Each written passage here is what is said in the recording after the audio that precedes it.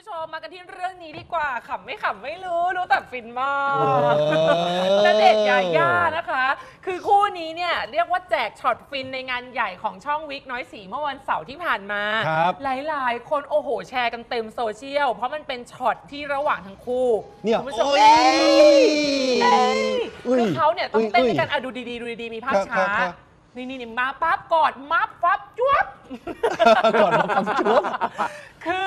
จวบไม่จวบไม่รู้แต่มุมเนี้ยมันใช่เออะอ เออ แล้วทีนี้คุณผู้ชมค่ะคือมันเป็นช็อแต่ตทำที่ไมเขา เหมือนน้องยาย่าเขาก็เหมือนไม่รู้ยาย่าตัวเซอร์ไพรส์ นะเหมือนเซอร์ไพรมันส์มันไม่ใช่ปด้วยคิวที่ไงซ้อมกันมาค่ะพี่เผยอ๋อก็นี่เหมืไงอนกับว่ากณอเดชดน์เขารัจะดณเดชน์นี่แหละ ใช่คือเดียเข้าใจอย่างนี้ ว่าอะมันเป็นฟิล์มมันเป็นมันเป็นคิวที่ณเดชน์จะต้องขึ้นมา แล้วก็เต้นกับสาวๆเอโดอยมีการมาหยอกล้อมาเล่นกันเออเออแต่การเล่นของณเดชน์หันไปเล่นกับน้องก็คือคว้าเอวคว้าน้องเข้ามามาเลย แล้วน้องอะตกใจรึ บมาอย่างนี้อ่าหน้าใกก็ล้เลยโดน ใช่น้องตกใจจริงคุณผู้ชมเพราะเขามีการแบบว่าโอ๊ยอย่างเงี้ยแบบมีเออเออกรี๊ดนิดนึงอ๋อออะไรแบบนี้เดี๋ยวไปดูหลายคลิปมาแล้วเพราะว่าชอบเหมือนกัน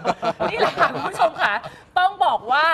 หลายๆ คนที่ฟินจากภาพที่ผ่านมาไม่พอเขาไปฟินกันต่อในไอจีของแม่แก้ว เพราะว่าแม่แก้วเนี่ยเขาไปโพสต์รูปที่เป็นภาพนิ่งเลยอุ้ยภาพพอดีนี้เลยอะเออ คือแฟนๆก็เข้าไปคอมเมนต์เลยว่าเอ้าแม่จ๋าแม่ไปสู่ขอดีไหมเลย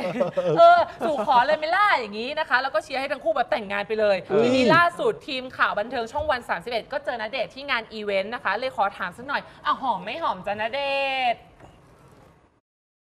ไม่ไม่โดนนะครับ คือมันอินกับมันก็อินกับจังหวะมันก็ไปไปกับเพลงต่างคนก็ต่างตกใจ ไม่ได้หอมแก้มไม่ได้อะไรเลยไม่ใช่อย่างนั้นหลังจากภาพออกไปก็คนก็เข้าใจว่าแบบเออหอมแก้มอะไรเงี้ยไม่ใช่อาจจะด้วยเพราะมุมภาพหรือมุมกล้องเลยทำให้ดูเหมือนว่าเออแบบเป็นการหอมแก้ม หลังจากลงมาเวทีก็บอกเหมือนกันว่าตกใจเลยอะไรเงี้ยผมก็สงสารเขาเหมือนกันแต่ก็สนุกดีครับผมสนุกดีไม่มีอะไรครับ